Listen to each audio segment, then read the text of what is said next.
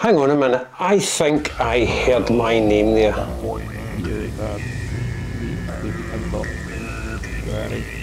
Anyway, on with this week's video. Thanks again for tuning back into the channel.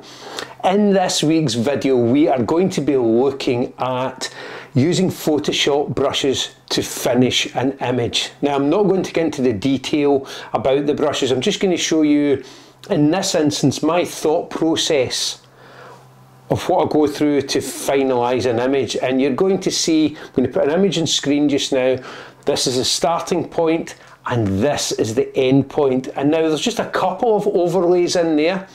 The rest of the image is completed using brushes, in this case smoke and dust brushes. But it's just to hopefully give you an idea of an easy process that you can go through to edit your own images. So let's dive right in with part one. Every layer that you can see in the seafoam colouring is made up with brushes, and that's what formulates the entire image. That's what gives the entire image its depth. And for me, allows me to work right through the images. You can see everything here and how it's been created. And I'll show you how, with the sandworm, how I actually thought about that and how I worked through with the brushes. So you can see the image slowly building up as we add in all the different brushes. And we're using smoke brushes and quite a few other different techniques for this, but nothing that you can't download or actually do for yourself. And you see that of overlays in here as well. But with the seafoam, that's the overlay now. And then we have Oniric just to give a slight glow to the front of the ships.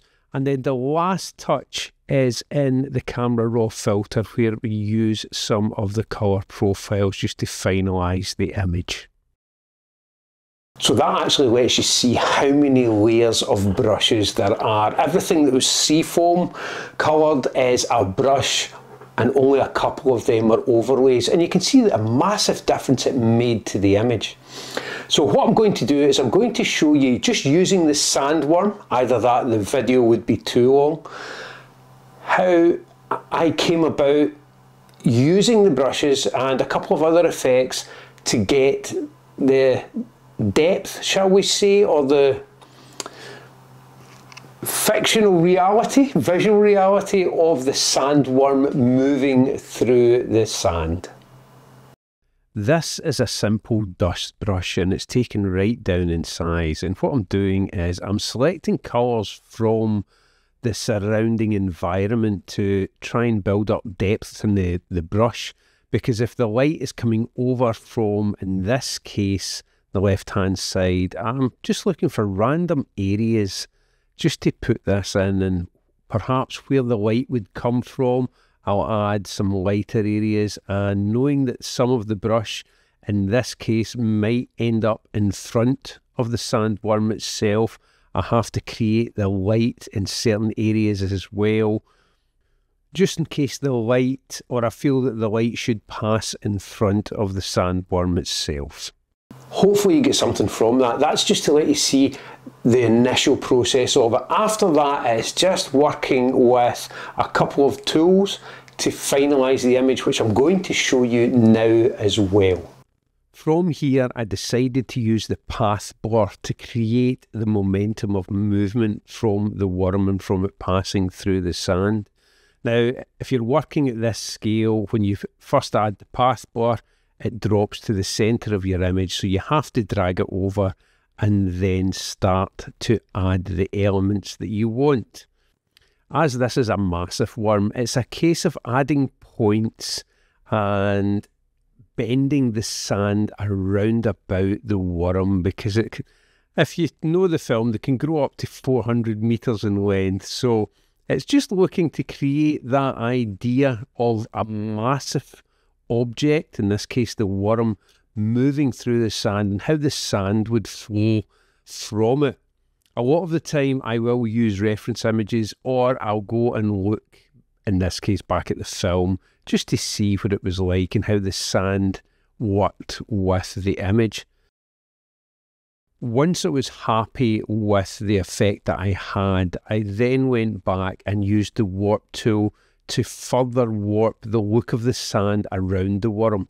And hopefully creating more of a 3D effect within that because the sand's going to come off the worm at different angles, although it's traveling at fast speeds. So all this is going on in my head at the one time to try and get that voluminous effect of sand, but also to create motion within the image as well coming from the worm itself once I was happy with that, I just then wanted to go in and create more depth within the sand, more texture to give it a more, and I'll use the term loosely, feel of realism. So, thinking about it, I thought the sand closer to the worm is going to be thicker and slightly darker. As it goes out, it's going to get slightly lighter. So, again, I chose colours that matched the surrounding area of the worm itself thinking about how the sand would react in this type of atmosphere. And simply because I'd watched the film, I added more brushes, again, layering them on top of the brushes that were already there in different layers and expanded the sand out even further, sometimes lightening the sand, sometimes darkening it until I got the effect or the final effect that I was actually really happy with for this style of image. One thing I failed to mention while showing you the brushes and how this image was built up is the fact that I use either a screen display or a pen tablet when I'm editing this type of image. I find compositing so much easier with a pen and tablet or a screen display. It's ergonomically better for you, in my opinion, and it also allows you to interact more with the image itself because you can set your brush pressures, your opacity, which can be set with the mouse, uh, but it allows you to set your brush pressure so that you can work in different elements with different pressures and you can actually build up using the brushes. It's one purchase I would definitely recommend if you are going to be doing a lot of compositing. I do sincerely hope you got something from that. That's my thought process when I am editing an image. I base a lot, even if it is science fiction or fantasy, I base a lot of my edits around the laws of physics from this world, if that makes any sense. So I do hope that you got something from it in terms of uh, the thought process about building up the layers with and using brushes. Now, brushes are easily downloadable. A lot of them are free to download as well, plus you can create your own. Most of the free ones that I download, I download from brusheezy.com. I also have purchased brushes uh, from different places as well, depending on their look and their feel. Some I like, some I don't like. Do I find that it's been a waste of money? No, I don't because you won't always use all the brushes that you've, in this case or in my case, that I've purchased. Ah, but you can create your own brushes to get the effects that you want. If you'd like to see a video on that, put a comment down below and I'll show you again. It has to be my thought process of how I go about creating them because there's so many ways to do things in Photoshop.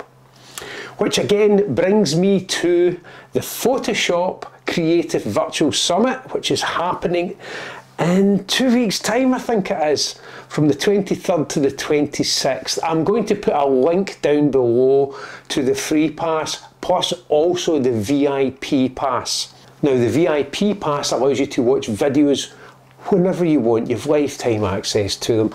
Plus, you get extras, you get the notes, you get any, in my case, I've created brushes for it. Plus, I have a few extended edits, and I see some of the other creators that are participating as well have got different videos as well within the VIP section, plus other things.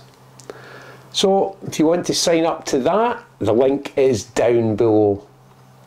Thanks again for watching. Take care and I'll see you in the next video.